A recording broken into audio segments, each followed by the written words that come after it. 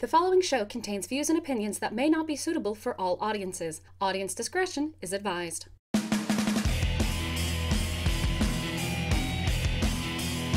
Welcome to Constructive Deconstruction, ladies and gentlemen. Holy shit, it's been too long. We are finally back. Oh my fucking god.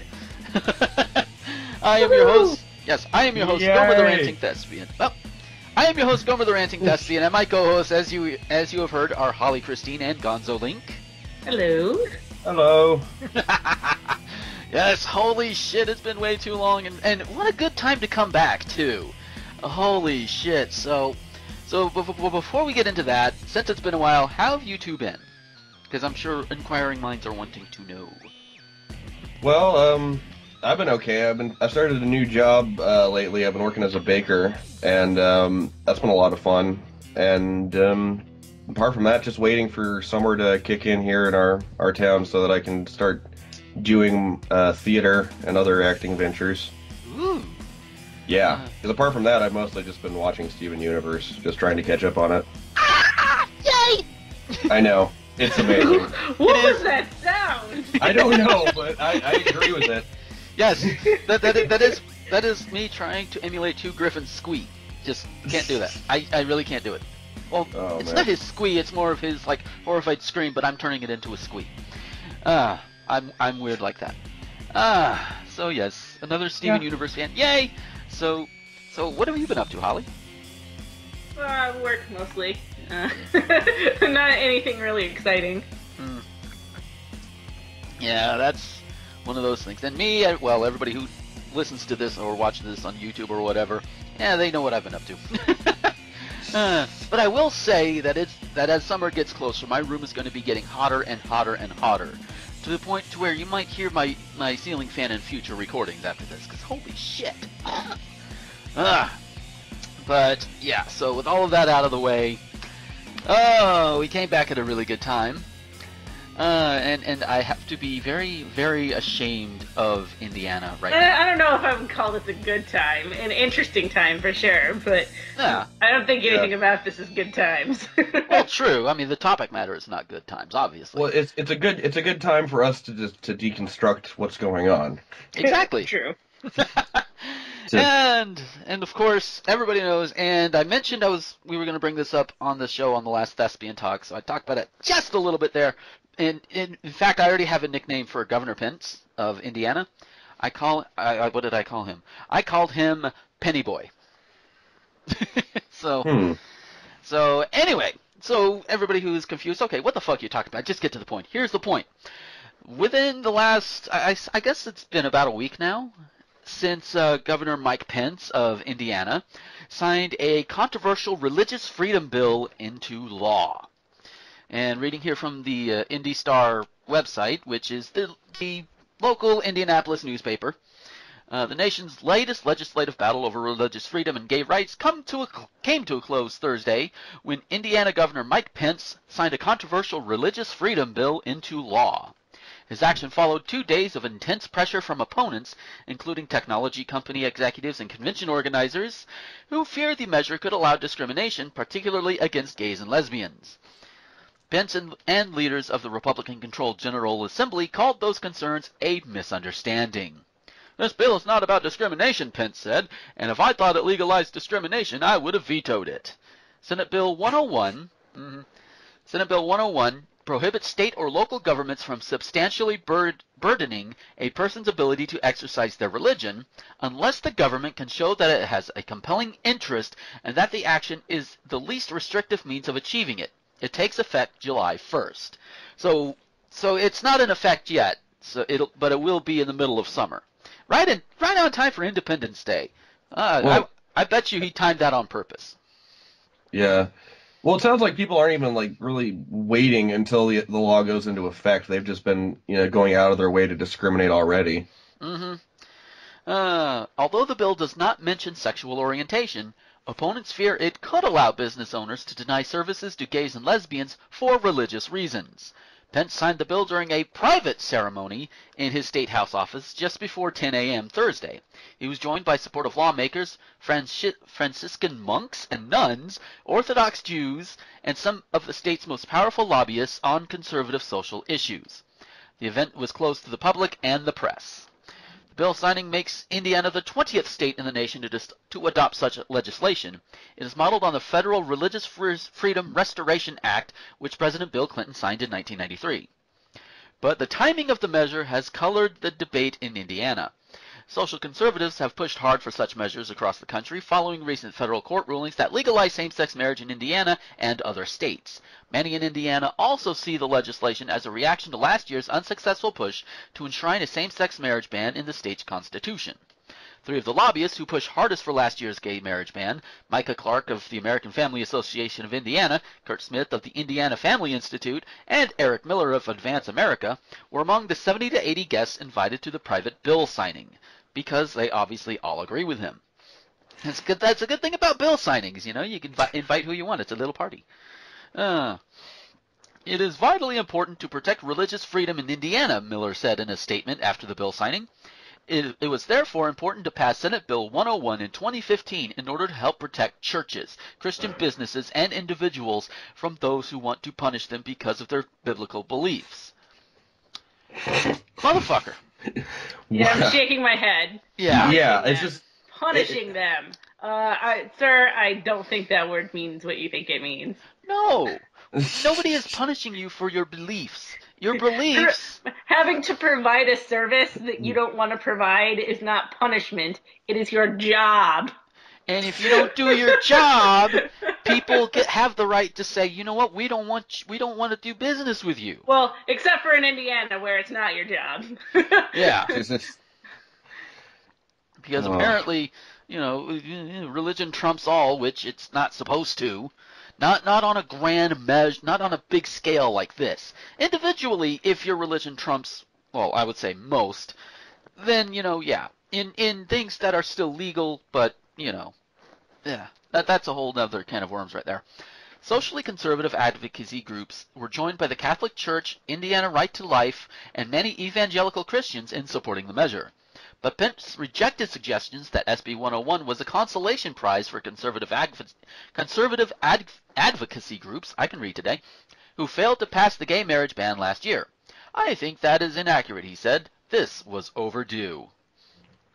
Oh, and it just goes on and on. Wow, I really picked a long one for the first one here. yeah. yeah. Um, but a lot of the a lot of the stuff this does go on. We we can we can also talk about in in terms of of just a lot of the backlash that has gone on. So what this act is is supposed to do is like is basically say, okay, you know what? If you have a deeply held religious belief, then you know state can't touch you. That's what I'm gathering from it, and that could also mean discrimination. Um, you know, that says, hey, you know what? I don't want, say, gay people in my bakery. So the government can't do anything because that is my deeply held belief that gay people are an abomination. Therefore, I don't have to serve them. And it, and it doesn't even have to stop there. There are some people that might extend it to black people or to I Jewish know. people. And exactly. You can you can justify anything under you know the guise of you know this is my religious you know b- belief to to operate uh, a business that is free from those damn black people. I mean gay people, right? Uh huh. Totally. Or you could even or you could even go more absurd. There's like, oh god, there's actually one. We can. I actually do have the story here. Yes, one that one that we picked up from Raw Story, um, where somebody's already starting to take advantage of this whole religious freedom thing in the way that that Penny Boy probably does not expect. It's beautiful. It Yeah, this, this was really amazing. Yes. If this isn't this is nothing if not religious liberty or li- religious freedom to operate your own business, right? Mm-hmm. Uh, but uh, we got it from Raw Story. Whoops! Indiana's Anti-Gay Religious Freedom Act opens the door for the chur- first church of cannabis. Yes, Hey. I I want to join that church. Oh. In a classic case of unintended consequences, the recently signed Religious Freedom Restoration Act in Indiana may have opened the door for the establishment of the first church of cannabis in the Hoosier state. While Governor Mike Pence was holding a signing ceremony for the bill allowing businesses and individuals to deny services to gays on religious grounds or values, paperwork for the first Church of Cannabis Inc. was being filed with the Secretary of State's office, reports RTV6. Church founder Bill Levin announced on his Facebook page that the church's registration has been approved, writing, Status, approved by Secretary of State of Indiana. Congratulations, your registration has been approved. Now we begin to accomplish our goals of love, understanding, and good health. And getting all the munchies that we possibly can. Mm. Nah. Levin is currently seeking $4.20 donations towards his nonprofit church. Ha ha ha ha ha. Yes. Oh. According to Indiana attorney and political commentator Abdul Hakim Shabazz, Indiana legislat- legislators, in their haste to protect the religious values and practices of their constituents, may have unwittingly put the state in an awkward position with those who profess to smoke pot as a religious sacrament. Shabazz pointed out that it is still illegal to poke, smoke pot in Indiana, but wrote, I would argue that under RFRA, as long as you can show that reefer is part of your religious practices, you got a pretty good shot of getting off scot-free.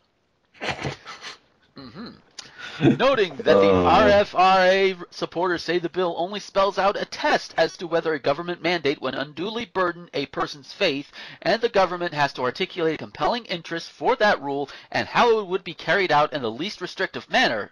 Shabazz contends the law may tie the state's hands. So with that said, what compelling interest would the state of Indiana have to prohibit me from using marijuana as part of my religious practice, he asked. I would argue marijuana is less dangerous than alcohol and wine used in religious ceremonies. Marijuana isn't any more addictive than alcohol and wine is used in some religious ceremonies. And marijuana isn't any more of a gateway drug than the wine used in a religious ceremony will make you go out and buy hard liquor, at least not on Sunday. Shabazz concluded, I want a front row seat at the trial that we all know is going to happen when all this goes down. So do I. Yeah, yeah, absolutely. And I Because will you have know that, popcorn. you know that this is going to go to trial. This is not going to go uncontested, and Yeah. that Yeah. everything that happens during that trial is going to bring it to light everything that's fucked up about this bill. Yeah, and and and even during the week, uh, uh, Penny Boy was brought on to, to the to the news, and he was asked to clarify, like, okay, um, you, what what do you what do you say? Is, is this gonna be a religious thing? Are people going to discriminate because of this? Uh, and he's like, uh, uh, um, um, hamster jelly. I don't know. Um, makes just as much sense, really. uh, My favorite was Hoosiers don't discriminate. Really? really? Really? Nobody in your entire state discriminate. That's bullshit. Okay. Well, yeah. considering, yeah, I mean, it, it's it's pretty pretty uh, pretty obvious considering that there was that one business owner who I I think he he opted to remain anonymous, not surprisingly, who went on uh, like a radio show and stated that he would be proudly turning away gay people because of this new this bill. Yeah. And it's like, well, yeah, I can tell why you didn't want to identify yourself because, quite frankly, if you did identify yourself there, you know what would happen. It'd go online, it'd get passed around by 4chan, something awful, Reddit, and all those all those sites, and you would go out of business in about a week. Yeah, that that would that would definitely be a, a bad idea for you. Oh, so yes, uh, but the uh, interview where where we talk about uh, uh, Penny Boy here trying trying and failing, I guess, to defend the religious liberty law, uh, got from thinkprogress.org, and yeah, we're we're just bouncing around on all these links today. Uh, and he defended a religious liberty law he signed on Sunday, saying that tolerance was a two-way street, and the law was about protecting religious people from government overreach. I love that too. That that phrase, tolerance is a two-way street. Yeah, Fine. What? right. No, it like if I'm gonna tolerate you, all all that has to happen is I have to tolerate you. Yeah, Yeah. You don't have you- to tolerate me back. You, you can be a dick. yeah. You tolerate the fact that we hate you, want you to go away, like probably want to round you up into camps or something, even though we won't actually admit that. And uh, we'll tolerate the fact that you um, exist. That's that's a fair trade, right? I mean, we won't let you into our businesses, but we'll we'll tolerate your your your mere existence, and You know. Let them take. yeah, let them eat cake that we that we that we don't want anymore. Yeah. Oy. Yeah. Pence said he, he was going to appear on the Sunday News Show to clarify the intent of the law. Instead, he refused repeatedly to say if the law would greenlight discrimination against people based on their sexual orientation in the state. Which tells me that that's exactly why he signed it into law. That's why they were pushing it. Because they want to discriminate against people. In this case, gay people. You know, or, or, or better yet, non-heterosexuals. And it's cause I'm pretty sure it doesn't have to be just gay people. I'm pretty sure it extends far, far in, in, out, outside the heteronormative area that he likes to reside in. I'm pretty sure. Yeah. Uh, Just, So- just to, I actually just had an idea, and this is actually probably kind of a bad idea, but I think that if it happened, it would definitely highlight how messed up this bill is. And what if there was um, an African American couple Mhm. uh, that opened up a ba- like a shop, like say a bakery or something, and refused to serve white people because of their religious beliefs? oh. How nuts do you think the the people of Indiana would would get, like the white people, or just white people in general? Like, how do you think Fox News would react to that? Oh God, I I am both I am both kind of scared and also really really wanting to see this and grab some popcorn. I I honestly, as much as I said I I I, was like that would be something to witness. I kind of hope that doesn't happen because that would be a nightmare for the people who did that. They would get their their they they, they would they would be the subject of assault, like Yeah, without question. They would they would get they would they would have their docs dropped. They would get tracked to their home. They would probably, in all honesty, end up suffering severe bodily harm, if not outright death, as a result of this. And that's not something I want anybody to go through. yeah. But if it happened, it would definitely highlight how fucked up this bill is. Oh yeah, I mean, and oh, to take it into a, another direction as well, you know, not just black people discriminating against, against whites. What about straight people, or not not not straight people, but non-straight people discriminating against straight people? Oh man, yeah. There's that one too. So it's like, holy shit! That, that see, it can go both ways, Penny Boy. See, Yeah. see, see, you you, are, are narrow-minded. You're thinking, okay, we got to keep Christianity in control. We've got to keep the, these these old white waspy motherfuckers in in charge here. Never mind the fact that what you're signing into law can backfire and bite you in the ass. Yeah. Oh, because We don't we, oh. we can't stop gay people from existing, but we can at least try and make sure that we don't, you know, we, we can just block them out of our minds and be like, oh, but they don't exist, right? They're, we don't see them in our stories. The, Yeah. the article that we started out with made a good point in that this is largely in reaction to the fact that gay marriage didn't get banned in Indiana. And that, Yeah. I mean, that's sort of the whole purpose behind this. Yeah, you can get married theoretically, but now nobody has to grant you a ceremony. Yeah, well, you know what? All the government has to do is grant them a license, and there you go. That that But the government, but nobody in the government can be forced to do that now. That's the problem. ah. So Yeah. yes, in theory you can get you can get married, but whoever works at the the office can say, "Well, this is against my religious beliefs. I don't believe in this. I can't do it." Okay, yeah. Which which as I've mentioned several many times before on previous shows here and on Thespian Talk and everywhere else, that's fucking bullshit. Because you you know the government you know you know you want religious freedom you want you want to make a statement yeah you know we want to protect religious freedom. Fine. Except religion does not fall into your your your job description unless you are a member of a church. If you're a member of a church that's a whole different story. And even then you have to f- follow by certain guidelines set down by the government. I, I think what was it wasn't like some kind of bible verse that says render unto caesar what is caesar's or whatever you know and i think that one was probably talking about more taxes or anything but that also says to me that yeah, you know, you're you're in you are in Caesar's land. You are you are in his his country. You should follow his rules. You're in his house. Follow his goddamn rules. And his rules say don't fucking discriminate. That's how it should be. But you got Penny Boy here wanting to go and change all that because he's he's a he's a slimy old wrinkly white bigot. Well, Yeah. Uh, okay, again, this is pro- part of the problem with Indiana and this law. Yeah. He's not changing any of the laws of of Indiana. right. The fact is, it's always been legal to discriminate based on sexual orientation in Indiana. They don't Right. have any laws that say you can't.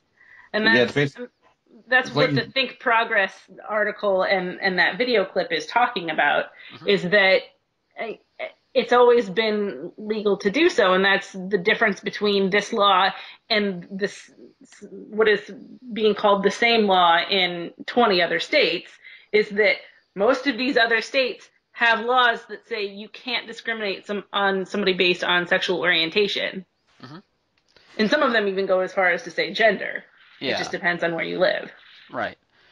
Uh, so yeah, that that- that actually is something I didn't even think about. That's like, yeah. So so in other words, he's not only doing that, but he's being redundant as fuck. I th- Yeah. From what I'm It's gathering. like there's no law that makes you know what we're doing illegal, but you know here, here's another one that says yeah go ahead you can do it, totally. Yeah, I like so so not only is is he showing himself to be a, a major fucking homophobic bigot, he's being redundant and he and of course being redundant all those all those hours writing the bill, getting the bill, where is that where where is the money coming from for it, you know? Taxpayer dollars are have to be paid to keep the lights on and, and all of that to begin with. So, you know, you know, some of the taxpayers are paying for basically wasted time so this guy can show, hey, I'm a bigot. That, that's what I'm getting at. Something that I just actually really I just thought about that I think is really insidious that it's still a thing that goes on in the era of the internet and not even just the internet. C-SPAN's been around for decades, so this really shouldn't even be a thing.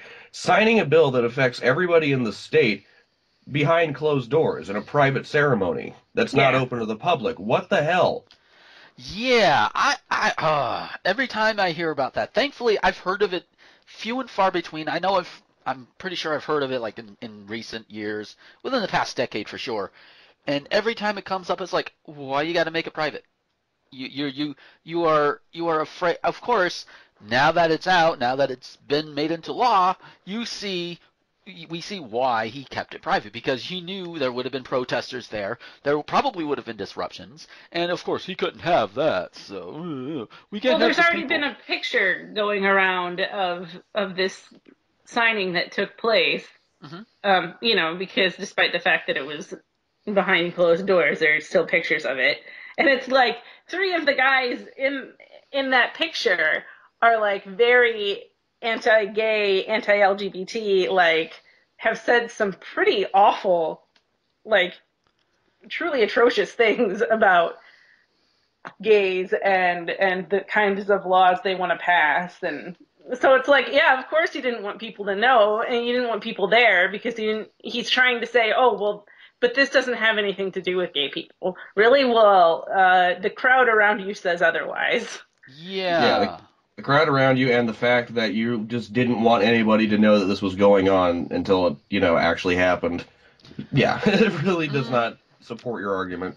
Yeah, just yeah, just just more and more that Penny Boy is a dick. and, and and in case there's any doubt, there is another article on Think Progress um, called "The True Intent of Indiana's Religious Freedom Bill, According to the People Who Helped Write It."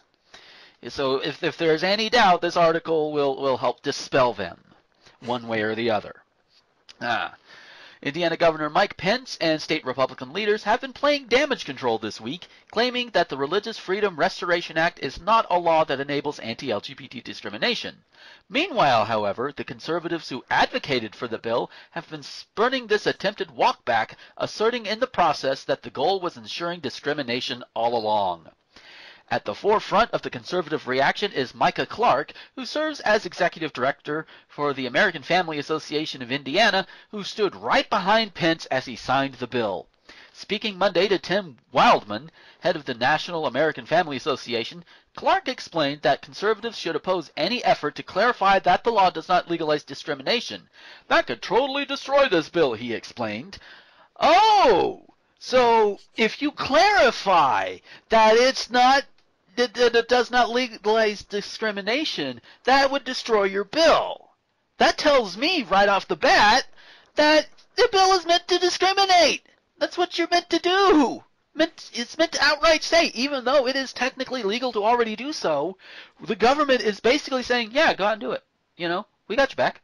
You know, you Yeah. religious person? You religious person? Okay, go out, right, you do your back, you know?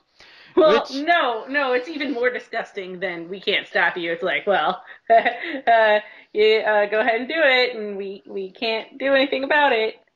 Uh, Yep, we, we, we have we have effectively tied our own hands behind our back, so uh, you know. Oops! oh Oops. darn! Looks Oh, like dear. we can't stop your discrimination. Not that it's Oh, okay, no. but seriously, we can't stop you. Uh huh. Yeah. Uh, Clark has been publicly advocating for the bill as a means for allowing anti-LGBT discrimination since December, long before the legislation was even drafted. This directly contradicts the claims made Monday by House Speaker Brian Bos- Bosma and Senate President Pro Tem David Long that the legislation never had anything to do with discrimination. Lying assholes. Eric Miller, executive director of Advance America, is another anti-LGBT activist who stood by Pence as he signed the bill. Advance America praised Pence for signing the bill last week, openly stating that it would allow wedding vendors to refuse service to same-sex couples and allow Christian businesses to refuse transgender people access to restrooms. And even more bullshit is coming out of this, guys. Guys, you, I, I, I think, I think certain aspects of of just the conservative movement, they're they're not even, you know, some of them are are trying to cover it up, obviously. Then you have guys like this who are like, yeah, um, we we this is what we want to do. This is what we want because you know, gay people and transgender people are yucky. That's right. Isn't that true? Isn't that true? Meanwhile, the rest of the country looks ready to about ready to smack them upside the head with the four by four. You know? Much. God, I remember. Um, and I'm not the, I'm not a huge fan of Bill Maher anymore, but I remember um, back during uh, one of those new rules segments, he was talking about gay marriage and just uh, how, or not, not about gay marriage, just about how Christ, uh, a lot of Christians or like creationist Christians in general are so willing to talk about biblical this and that and use it to try and justify things today. And one of the, the points he made was like, you know, and Jesus never said a word about gay marriage. He was much too busy hanging out with 12 guys. Mm-hmm. Ah, so yes. Miller Miller was quoted as saying, "It is vitally important to protect religious freedom in Indiana. It's the right thing to do. It was therefore important to pass Senate Bill 101 in 2015 in order to help protect churches, Christian businesses, and individuals." And we, we quoted this earlier.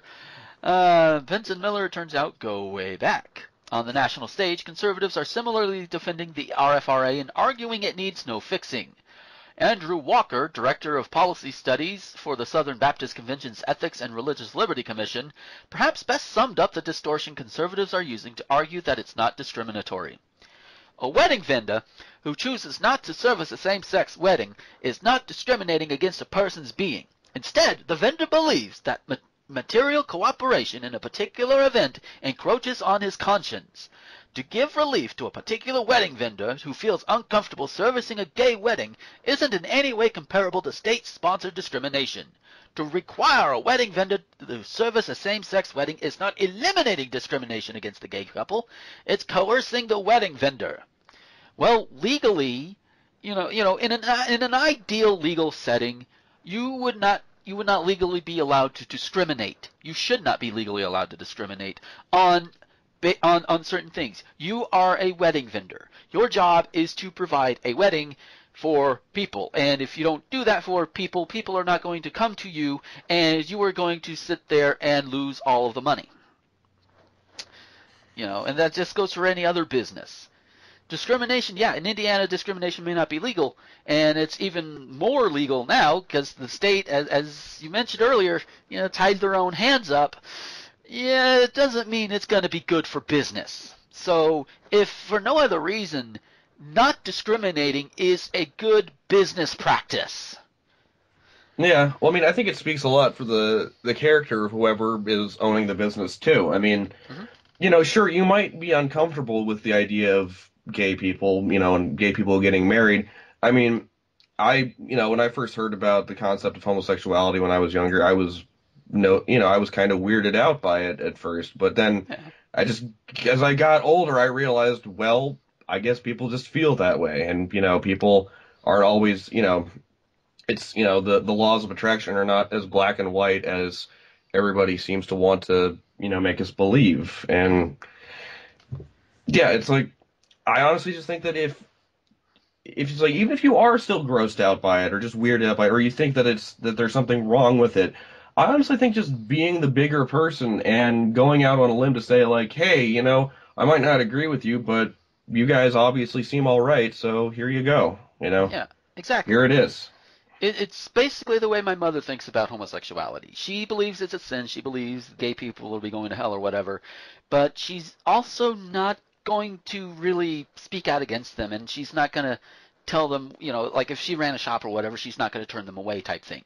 She has her beliefs, but that doesn't determine how she reacts when she has to deal with them in a business setting or any other setting. Because you know, my mother is actually a decent goddamn human being.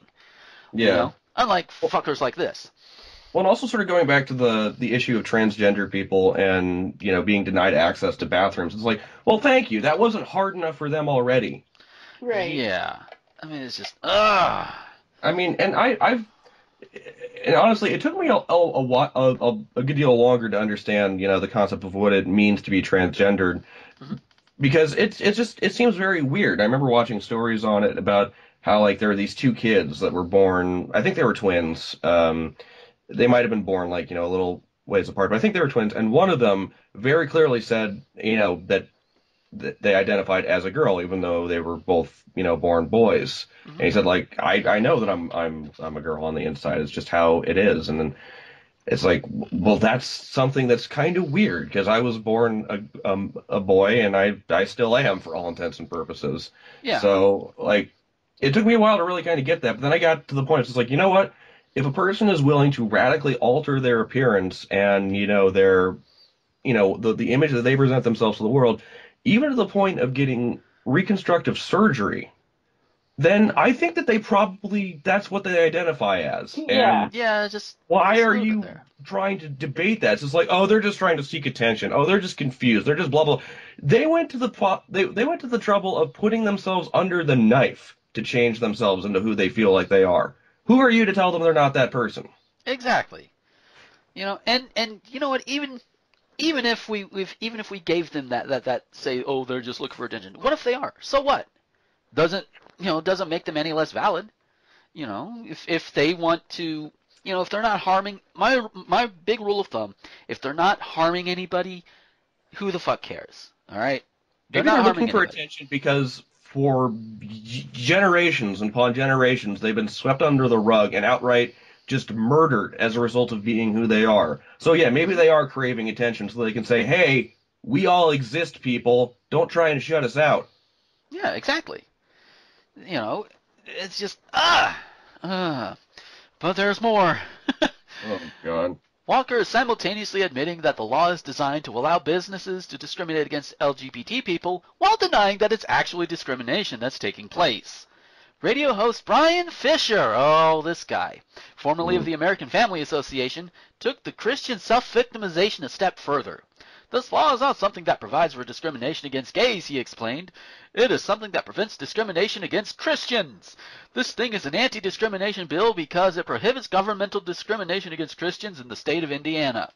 Because yeah, Christians are just so disproportionately discriminated against. Yeah. Oh, so There's much. so much discrimination against Christians. I, Mm. You know, I just Ugh. Yeah. every day I'm like, "Are you a Christian business? Oh, I can't shop here."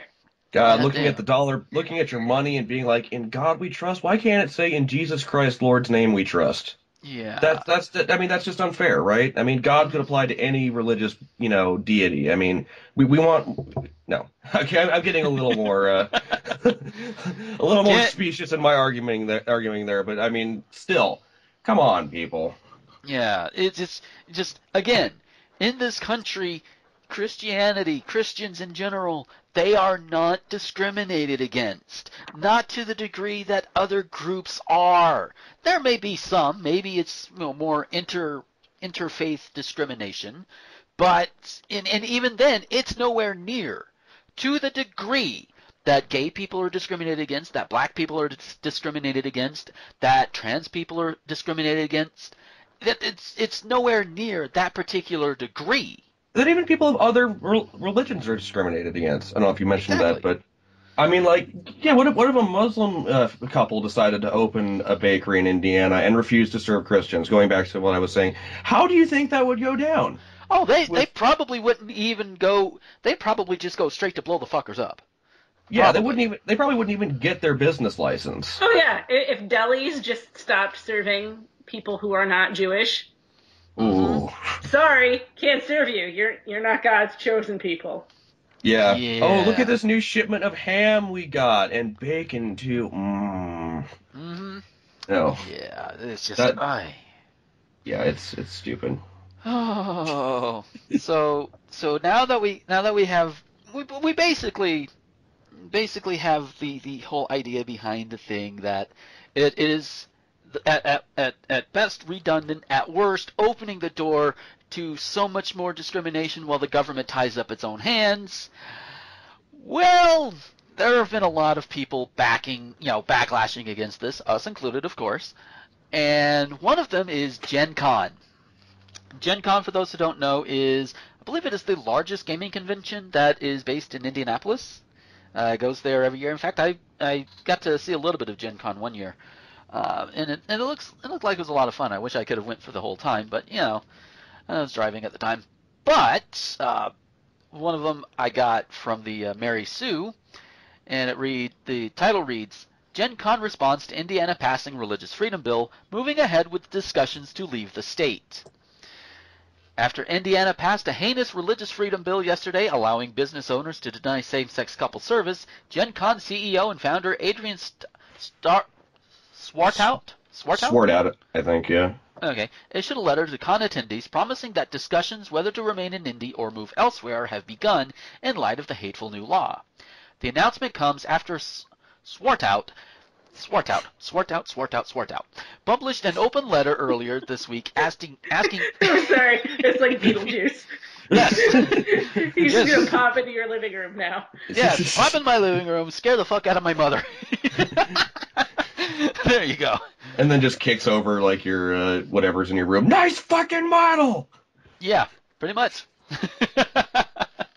uh, but he published an open letter earlier this week asking Indiana Governor Mike Pence to veto the bill as legislation that could allow for refusal of service or discrimination against our attendees will have a direct negative impact on the state's economy and will factor into our decision making on hosting the convention in the state of Indiana in future years. They have a contract with Indiana through 2020, but as Swartout wrote yesterday, planning for a potential out-of-state move for 2021 needs to start five years prior to a contract term commencement. In the meantime, Swartout emphasizes that cons leading up to 2021 will be inclusive and fun, and reassures attendees that the Indianapolis business community is not in favor of the state's decision. We've received hundreds of messages from industry members and Indianapolis companies doubling down on their support to welcome all Gen Con attendees. The open letter also details a feedback system whereby attendees can record their experiences at local businesses and offers several ways that concerned members of the con community can contact Swartout to share their opinions on the issue. Prospective attendees, if you don't feel comfortable attending based upon your principles, we invite you to make the, the decision that feels right for you, your business, or group. We support your decision regardless of the outcome.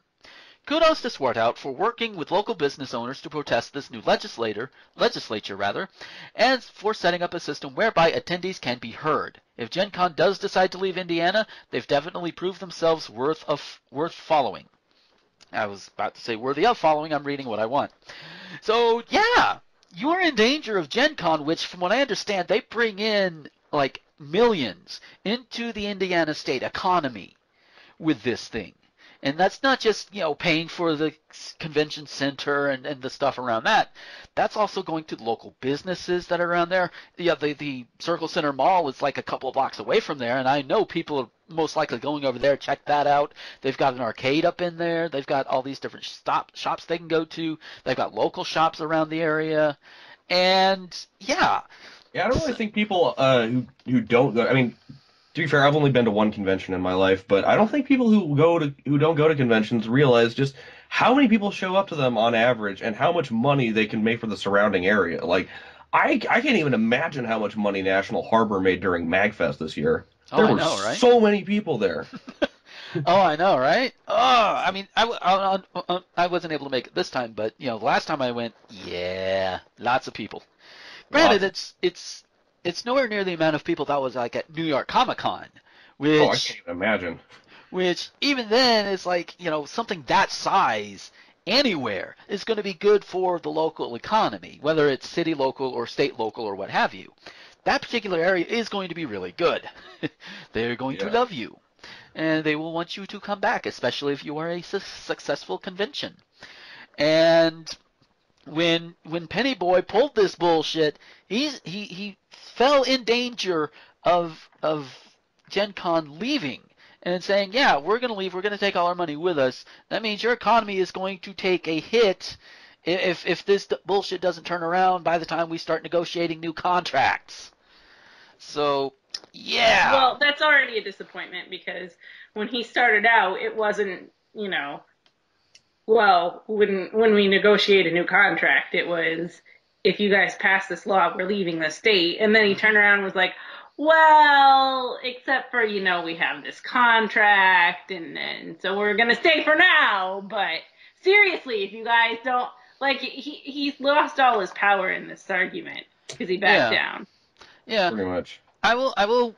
I can understand why he would make the turnaround because contracts, from what I understand, that could be depending on. I don't know that. Right, but he just shouldn't have said it in the first place. That that I can agree with. Like, I- i if he had never intended to be willing to break the contract, then he, he shouldn't have said it. Yeah. So, oh lordy, lordy, lordy. But and even then, there's even there's been, been a lot of other people speaking out about it. Of course, a lot of celebrities, George Takei being one of them. Of course, I, I think Miley Cyrus has spoken out against it. Hmm. I don't want to say I want to say Seattle has prohibited their city employees or, or, or or what have you from taking paid trips to Indiana, like like on their government dime or whatever. I know And- San Francisco has.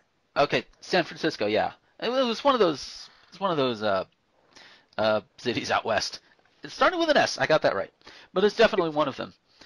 Hmm. Uh, Lots of business also businesses have also said, you know what? Nope, we're not sending anybody through there unless we absolutely have to. Yeah, Unless there's absolutely no way we can get around it. And, and I think like an entire state has said that they won't be sending employees there. yeah, and I believe that's Connecticut. Is it Connecticut? I'm, I think so. Yeah. I couldn't tell you for sure.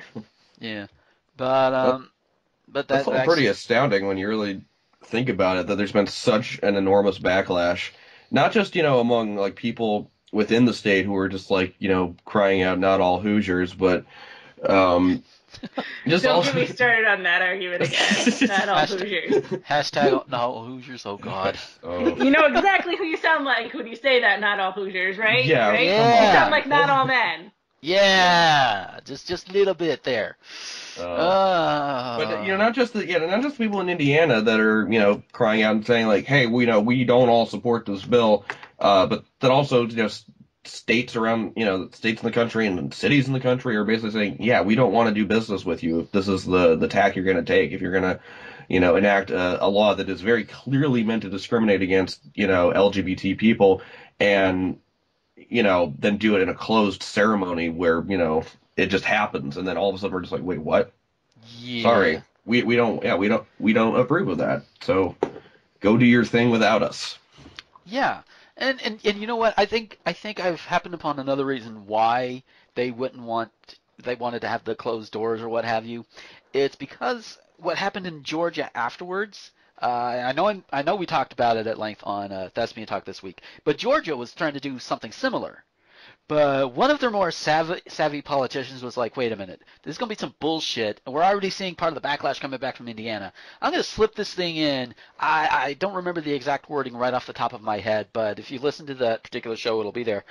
Which basically, basically gutted the bill. And it, it'll never pass. It's never going to leave the table or anything. So it took one guy in Georgia to to slip a little something in there that nobody's going to vote against. Nobody's going to do anything about it. So the, the the Georgia version of this particular bill is dead.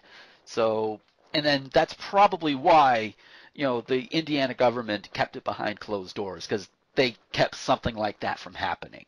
It's probably why. Uh, which makes me wonder. But uh, Yeah, what else gets passed behind closed doors? Mm-hmm. Uh, but uh, one one last news link involving all of this. Uh, I found this on Pol- Politic Politic yeah Politic Politic USA uh. And the article headline reads, and Indiana lawmakers admit no gays signs will be allowed. Uh-oh. Americans, businesses, and cities condemned Indiana's RFRA ever since Governor Mike Pence signed it into law. Pence tried to claim his critics didn't understand the law, but that blew up in his face during a press conference. The House Speaker and the Senate Pro Tem admitted that no gay signs would be allowed in Indiana. Gee, kind of like kind of like the the old whites only signs and, and and colored only signs back in the 50s. It really is amazing that the, the irony of this situation is escaping these people. Uh-huh. Yeah. Or even if they're not, even if even if it's not escaping them, that they're just like, well, this this won't this won't backfire in any way. This this will be great. This will just you know, I'll get to exercise my religious liberty. I mean, you know, just like the slave owners did when you know they were using the Bible to justify owning people. Uh, Mhm. w- Wait, hold on. I might I might have gotten lost along the way there. well, that's the thing. People people will try to use the Bible to justify just about goddamn anything. You know, during you know when the Civil War was going down, people used the Bible to justify both slavery and and ending slavery. You know, you've got people using the Bible to justify racism, justify homophobia, to justify transphobia. You know, they will use it to justify anything. And just basic misogyny too. I mean, there you you, know, go. That was going to be my next one. yeah, because I mean, like the the the, the, the I, I can't remember where, where I've read this, but I've seen it several ti you know, around the internet a few times. It's like this the simple fact that you can't trade your daughter to some man for like a plot of land and five cows means we've already redefined marriage. hmm yeah. So we we keep redefining it. They they're just redefining it in a way that you guys don't want it to be redefined because for whatever reason you think that your marriage is going to be less valid. That means that tells me that you have very little faith in your union, which really actually kind of concerns me. It's like if you have that fa- little faith in your union, why the fuck are you married? Well, Yeah. there's always like a, something at you know to, to to to say about like any of these arguments, pretty much. What um, that that just is like, well, yeah, but if, but what about this between other people? Like, I think one of my favorite arguments is the whole, well, gay people can't have kids, and you know, marriage is all about you know starting a family and blah blah blah. It's like, okay, first of all, no, marriage is not about starting a family. It's about joining with somebody so that you can you know work more efficiently with you know with each other that you can get benefits on your taxes that you can you know you know have you know you can do all these things and then you can be closer to that person but what if you have two people who don't want kids who Yeah. have no interest in having kids or help for that matter what if they're sterile what if they can't have kids Yeah. Physically, then and, but they have no desire to adopt either are you going to prohibit them from getting married simply because they're not about starting a family even though they are Yeah, I mean, it's like by that logic, there would be so many people. Oh God, I, I, oh hell, just so many people who were like, yeah, we want to get married, we just don't want to have kids, we can't have kids. So many people would be like, ah, goddamn. yeah Oh. But yeah, a little bit further down in the article, it reads, uh, since Pence signed the law, backlash was swift. Hashtag, hashtag boycott Indiana trended on Twitter for several days. I, I, I see. I remember a couple of my friends uh, actually saying, "Yeah, um, when I go through Indiana, I'm not stopping for anything. I'm not spending money there or anything. I'm just gonna go right on through. Not even taking the fucking toll roads. Just, uh, I'm just thinking, like, can you imagine the number of, of roads that are going to have, like, this many miles to Indiana, this is your last stop signs now? like, before you get on the tollway, how this is, it's always like, this is the last exit before you get on the tollway. yeah, After that, you're going to have to pay to get up. Now it's going to be, you're this many miles to Indiana. If you don't want to spend money in Indiana, you should probably spend it here. And then when you Oh, actually God. do cross the border, you are now in Indiana. Sorry. oh yeah, I'm just imagining somebody coming from Ohio, because because because I, I there'll probably be probably three or four exits before you reach Indiana. That uh, no wait, I think you would be able to have like like the very last exit before you enter Indiana. That would be fine. I don't remember how it is for the other ones though. I think coming from Illinois, uh, at least the way I would normally come back through. Uh, to Indiana through Illinois, I think it would be a little further back. I don't know why my mind just suddenly went there. I'm thinking of the logistics, and I need to go back to the article. Uh, celebrities spoke out, of course. Angie's List was one of several businesses that registered their opposition to the law with their big corporate dollars. By the way, Angie's List, I believe, is based in Indianapolis. just just saying. Yeah. Um, then the cities of San Francisco and Seattle, oh hey, we were both right, announced that they would boycott the Hoosier State, and Connecticut was the first state to announce it would boycott Indiana. Uh, so yeah, Connecticut, yeah, we were, again we were right, Connecticut there. Contrary to Pence's protests that critics just didn't understand the law, it is now abundantly clear that Pence's attempt at damage control was the epic fail of epic fails. Yeah. it's just no, no, no. Just just you guys, we see your true colors. You know, even Pennyboy is like, yeah, we're we're we're gonna have a little clarification law put in. But it's a little late now. Now that the state's House Speaker has encouraged, you know, homophobic shop owners to let gays know their business is not wanted. Yeah, yeah, we we we see your true colors. We really do. Mm-hmm. Uh, and, and the article, of course, makes references to like the no blacks and Jews, eh, or or no Jews and dogs, you know, that sort of thing. What? Yeah, that's what it says in the article. No Jews and dogs. Huh. I, I don't know. That's that's an interesting combination. Well, you know, the the whole racism thing. It, I, I'm, I don't know. I mean, it's not that big of a stretch when you consider that you know Hitler and Goebbels' propaganda was basically, not not basically, it was literally trying to convince you know the, the people of Germany and of just Europe that Jewish people were vermin. yeah. Yeah. It's So uh, uh, that, that doesn't seem like that big of a stretch, you know, when you consider just how virulent, you know, bigotry can get. hmm Oh, so but I'm I'm just waiting, like like the guy with the first church of chur- first church of cannabis. Something like this gets off the ground. is going to go to court, and it's going to be exposed even more. They're going to have more eggs on their faces, and if the voters of Indiana are smart, they're going to vote them out as soon as possible. Please. Well, Yeah. okay, so that brings up the the not all Hoosiers argument that I got into the other day. Oh yeah, you you you actually So- sent me you sent me you sent me a link for this one. Uh, the um, I think you found it what the indychannel.com. I believe, right? Yeah, the, Yeah, go ahead. you're jumping ahead though. I'm sorry. uh, Um, But- but, the, the thing is, uh, a lot of first of all, Indiana is a Republican state. Mhm. There, so there's uh, as sad as it is, there's not a whole lot that's terribly surprising about the fact that this passed. yeah. Um, and it's most people in Indiana don't vote, Yeah, which wh- which is is the takeaway here. Mm. Um, you know, would it be nice if if people went and said, "Oh, we don't want you in office anymore"? Yeah, it would. Do I think it's terribly likely? No.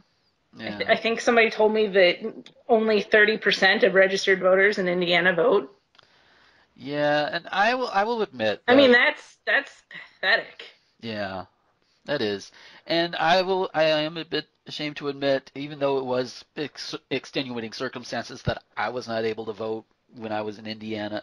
But um, you know, like I said, extenuating circumstances. I'm still kind of ashamed to admit it, but you know, so I, I that, that does shame me a little bit. But um, but you know what? If if it takes me back up there, or or wherever, I'm gonna you know be definitely making sure that extenuating circumstances don't apply and I made sure of that when I transferred my license down here to Florida. so But even so, there's there seems to be this prevailing thought in Indiana that well, I, I'm not responsible for these guys because I didn't vote for these guys.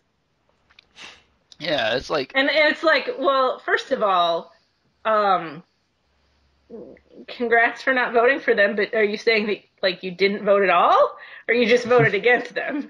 Like if you voted for somebody else, then you have every right to complain, and I'm okay with that. If you did not vote, shove it. Yeah, so so it's kind of the anti George Yeah. Carlin there on that one. It's like if you if you didn't vote, you don't have any right to complain, whereas his, his was the opposite. And that's one of those things where I will disagree with Carlin on. Is, Yeah. and agree more with you. It's like yeah, you didn't vote when It's you like- could have. Here's the thing, voting no. Yeah.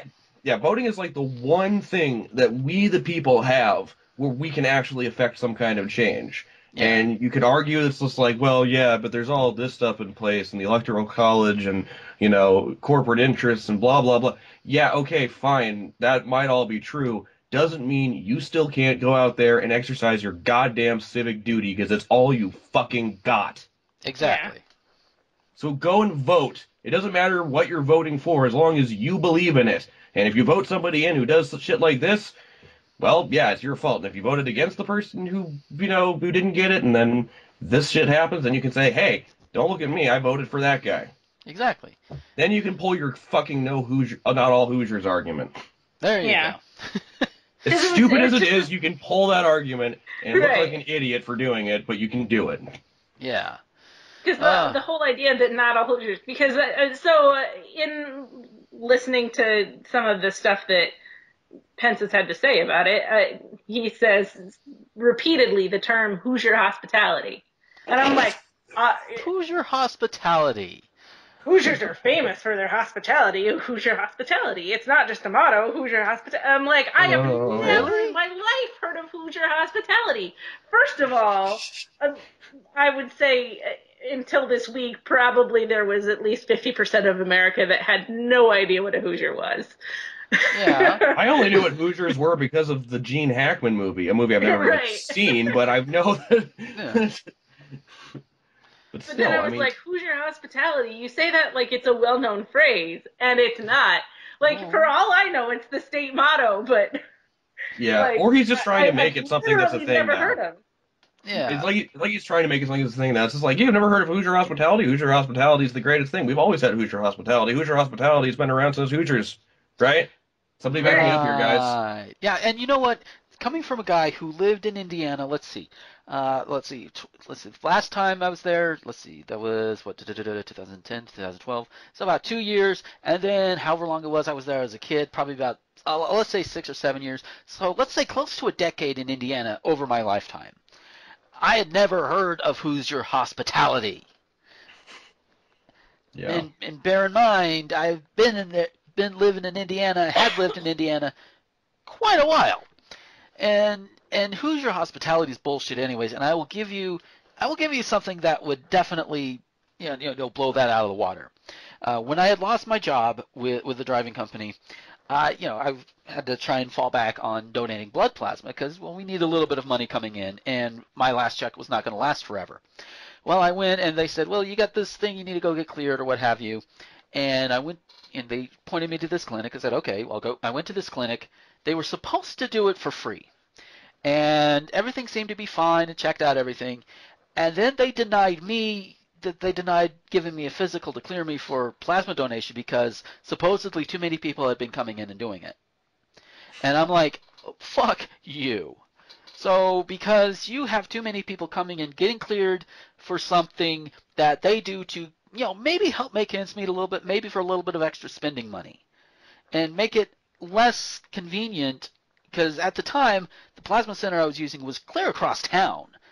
You know, it took me about maybe an hour, hour and a half to get there on the bus, which well, that's the only way I had to go. And and and so to tell me like, yeah, you you you, you know, we're going to inconvenience you a little more because we're inconvenienced by all these people coming in and getting these free checkups. It's like, yeah, who's your hospitality? My ass. I mean, uh, And it's like, it, so the governor isn't the only person who's who's like, well, Hoosiers don't discriminate because this argument that I got into, which, which wasn't even really an argument. I said one thing and this person just like flipped out. oh. I, I, I honestly couldn't believe it. I was like, but that's that's not what I said. oh God. Oh. Um, Ah. but it, it, people keep saying, well, Hoosiers don't discriminate. Well, Hoosiers are really nice people. Well, uh, uh, sorry, but the rest of the country hasn't heard about that. And in Yeah. fact, now you can talk about the article. yes. It's now we have not true at all.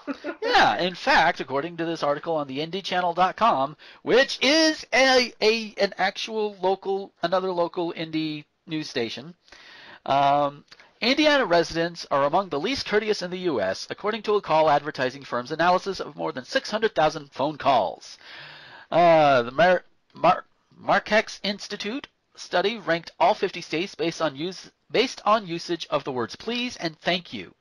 Indiana ranked third least courteous in the study, with Wisconsin, yeah, with Wisconsin and Massachusetts ranking first and second respectively. And I can see that for the, you know, even even outside of my limited view, I can see that because bear in mind my viewpoint when it comes to dealing with Indiana people in general, usually on the bus, and people are very thankful to the bus driver. Most of them will say your your thank yous and everything. So, but still, there's a lot of other people that probably would just be like, oh, okay, whatever, you know, and and and all of that. And yeah, third least courteous. Holy shit. That's Uh, Hoosier hospitality. Oh yeah. And and it says here Tennessee ranked fourth and Ohio in fifth. So you have the third and fifth right next to each other. Ah, and I and I traveled to both extensively.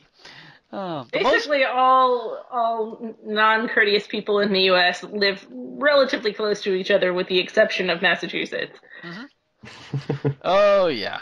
So, but the most courteous states, according to the Sunny study, rather, were both of the Carolinas, Maryland, Louisiana, and Georgia. Louisiana, the same state that where, where Governor Jindal is, is fucking up all that shit, they're also very hospitable apparently, or very, what about very courteous mm-hmm. apparently. Oh, believe that. I mean, like you know, Southern hospitality is a thing that I Right. think of at Yeah. least. So, yeah, I could believe that. You know, Louisiana and Georgia are like two of the most courteous states in the country, even if Oh, you know they're probably got other issues going on. But Right. you know, Oh, I can I can imagine that they're at least nice about it. yeah. yeah, everybody's sir and ma'am, and you know Yeah. that, that makes sense to me. But I was like, "Hoosier hospitality? Is that is that actually a thing? Because I've never heard of it." Right. It's like I, I haven't heard it either. Oh, so so one one last thing from this article I want to pull before we, we get out of here for this week. Uh, the study also examined each state's use of curse words, finding Ohio had the most people people using profanities, followed by Maryland, New Jersey, Louisiana, and Illinois. hey. So I I, I, I, I I think I can attest a little bit to Ohio. Although they probably I think somebody was following me around when I was driving through Ohio recently. Well, not recently as in like the past year, but you know when I was driving. You know, cuz hey. uh traffic in Columbus can be shit sometimes. Uh, so with that, uh, last thoughts on this whole thing. Um, for me, my last thoughts on this just this this whole thing i'm just waiting again like i said earlier i'm waiting for the first church of cannabis thing to go to court and see all of this exposed and then something be done um and, and this whole thing is bullshit anyway i myself i've been wanting to i'm trying to get the hell back out of florida again i'm really wanting to go to chicago i was thinking about indiana indianapolis as kind of a backup but now i'm not so sure uh so you know that sort of thing uh, oh, oh, and one last thing I did forget. I don't think I put it in any articles, or, or if it's in any of the articles. It might be. I don't know. But uh, the mayor of Indianapolis has actually signed an anti-discrimination bill, if I remember right, or he's at least called out against it. Hmm. So you got the mayor of Indianapolis calling out against it. So maybe, maybe Indy may not be such a bad idea after all. Who knows? Yeah, the mayor of the capital city going like, guys, what are you doing? Yeah. Right. Well, I mean, that goes to the comments that I had on when I was talking about the argument, which was that basically a lot of people in Indy specifically don't realize that they live in a Republican state. I was like, really? How do, how do you not know that like you're the one sane corner of the world? Like, Yeah, it is. Yeah. how is that something you're unaware of? Like, as an Iowan, I realize that everybody else who lives on the west side of the state is insane. Yeah. Like, Yeah, it's like it'd be like if people in my hometown got surprised every election year that Alaska went, you know, red. So it's like, you, you, this is not news. Yeah. Like, this is, I mean, like, yeah, we ver- we might live in a fairly liberal, you know, left leaning community, but that doesn't represent all of the state. yeah, well, exactly. I mean, even even in Iowa, when when things happened, like when Joni Ernst got elected, that was that was still news because despite the fact that we're a very progressive state, we're also very much a purple state. like we'll go either way. yeah.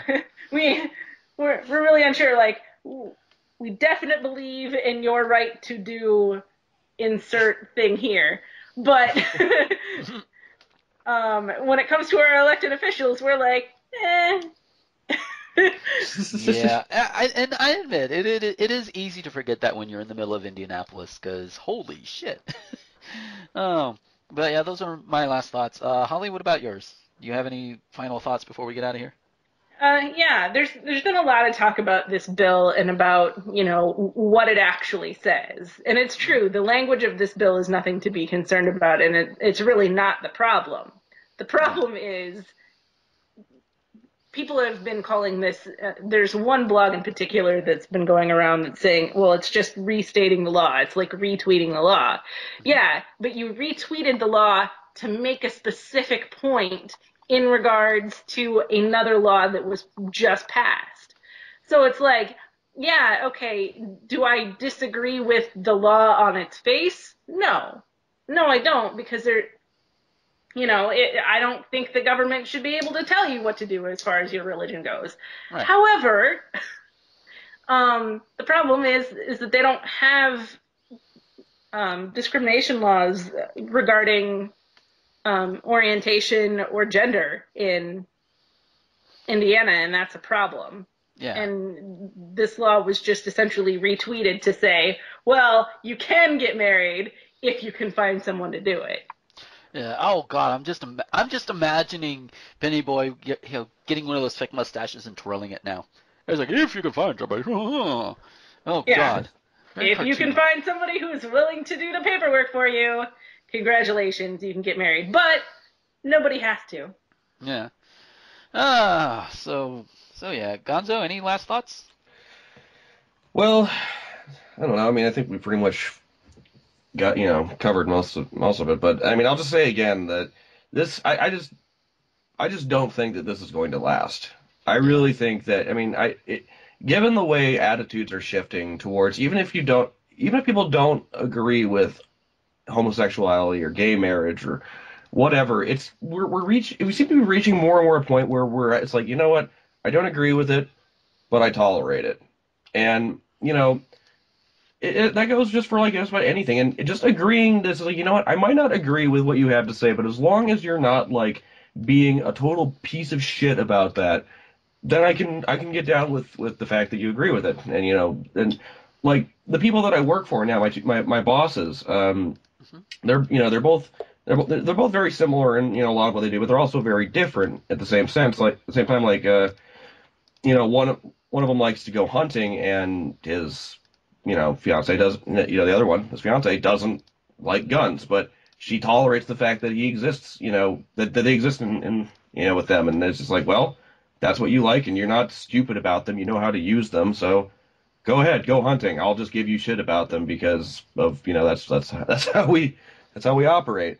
And I just think that you know if you do that, it'll get you so much further in life. Oh, yeah. If you just agree to tolerate and like, and then just the and and like I like I also said earlier, I just am waiting. I'm I'm waiting kind of with bated breath because I really don't want it to come to this, but I'm just waiting for the one couple or the one person that goes decides, you know what, screw it. I'm going to see just how far they'll actually go to protect somebody's religious beliefs and opens up a business that discriminates against people who are white or people who are straight or, you know, that, or Christians.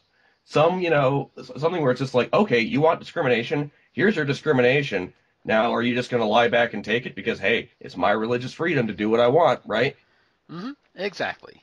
And then, yeah, see how well that they take that. I'm really hoping that doesn't happen because I don't want anybody to get hurt over this. But yeah. if it does, well, you know, you can't just can't say you didn't expect it. Yeah, pretty much. Oh, so with all of that, that is going to be it for this time. Thank you guys so much for listening and, and for waiting patiently. All of you who is who have finally who've been waiting around, be like, okay, when's the next one coming? Oh, finally, yay! uh, yeah. Hi, well, you. Nice, nice, nice. Thank you for for supporting us. We like you. Yes, we do. Yay! Uh, so uh, if we wanted to find uh, Gonzo Link on the social media, where could we find him? Uh, you can find me on YouTube, Twitter, Tumblr, and Instagram, all at Gonzo Link. Um, I'm also on part of the uh, uh, Gotham High audio drama. Uh, I play Bruce Wayne. I'm also part of Team Brotherhood's abridged series, Full Metal Alchemist Brotherhood Abridged. I play the narrator. And uh, yeah, you can also uh, hear my own podcast I do with Zenith Will Rule on his uh, YouTube channel, Zenith Will Review. It's focused on the frames, a podcast about movies, and uh, eventually there will be another episode coming out at some point. Yay! And if we wanted to find Holly Christine on the interwebs, where could we find her? You can find me a lot of places, social media stuff as Gookygox, G O O K Y G O X. That's Twitter, Tumblr, Instagram, what have you. My Facebook fan page is Holly Christine Brown, and you can also find me over at Nerdvice. Sweet. And as for me, you can find me on the Twitters and the Tumblrs at Gomer21XX. Uh, I've got a Facebook fan page, Gomer the Ranting Thespian. Go give it a like, you'll like it. Um, you can also find more of my material, other shows, other videos, etc. on rtgomer.com and nerdvice.com. This show, along with my other two podcasts, Thespian Talk and the Port Charlie Podcast, are also available on iTunes if you're the kind who just wants to just grab it off of iTunes and not have to worry about going to any sites or what have you. And that should be about it. Every Patreon information is there in the bumper. Hooray! And that should be about it. Oh, also, one thing I do keep forgetting, I do have one for Thespian Talk as well. This show does have its own official Tumblr. It's got condeconrtg.tumblr.com. It'll be linked below on, on the site and on the YouTube page and, and everywhere else this goes up. So uh, if you want to send in some feedback, send it there. You can send. I think I have it set up to where you can send in anonymous asks. You can submit stuff if you want. Um, just you know, it'll be there. Uh, so if you guys want to check it out, we would love to hear from you. You know, we, feedback feedback is important. It is nom nom nom nom nom nom. Um, so with that, thank you guys so much for listening, and we will catch you next time. And until then, this is Gomer the Ranting Thespian with Holly Christine and Gonzo Link, signing off. Bye. See ya. Constructive Deconstruction is an RT Gomer Productions presentation. Our show's theme is Exhilarate by Kevin MacLeod. Find out more at Incompetech.com. If you like this show and want to help support future episodes, head over to patreon.com slash gomer21xx. For a contribution as little as a dollar per production, you can get early access to all future productions, as well as monthly patron-only vlogs and announcements. Our show's artwork was produced by the talented Becky Hopkins, who can be commissioned by going to patreon.com slash Becky Hop. Check us out on iTunes or visit rtgomer.com for more great shows.